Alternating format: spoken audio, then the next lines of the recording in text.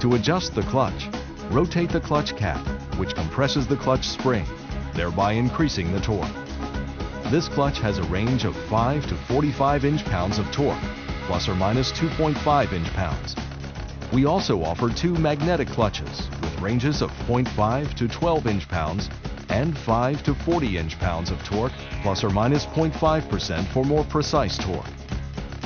The clutch's shaft-driven lining engages the cup and body. The clutch body transfers the torque via the aluminum driver shell and rubber insert to the container cap until the desired torque is achieved.